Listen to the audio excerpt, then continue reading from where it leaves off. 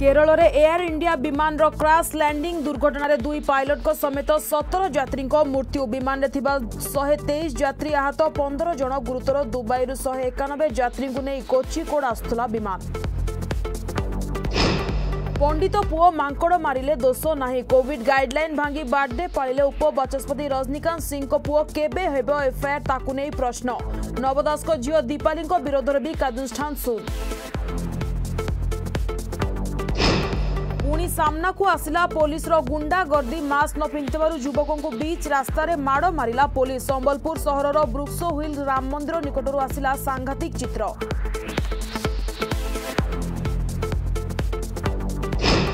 ଗଞ୍ଜାମ ଭଞ୍ଜନଗର ଦଦରା ଲୁଣ୍ଡାରେ ବୋମା ମାଡ଼ ଘଟଣାରେ ତିନି ଗୁରୁତର କାରଣ ଅସ୍ପଷ୍ଟ ପୋଲିସର ତନାଘନା ଜାରି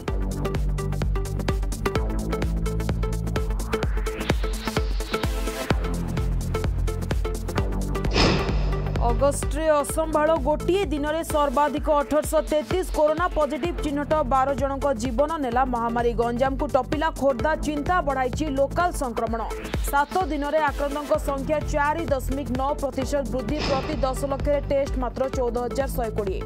ଭାରତରେ ଦୁଇ ହଜାର ଏକୋଇଶ ଟି ଟ୍ୱେଣ୍ଟି ବିଶ୍ୱକପ୍ ଦୁଇ ହଜାର ବାଇଶରେ ଟୁର୍ଣ୍ଣାମେଣ୍ଟ ଆୟୋଜନ କରିବ ଅଷ୍ଟ୍ରେଲିଆ କରୋନା ପାଇଁ ଚଳିତ ବର୍ଷର ଆୟୋଜନକୁ ସ୍ଥଗିତ ରଖିଥିଲା ଆଇସିସି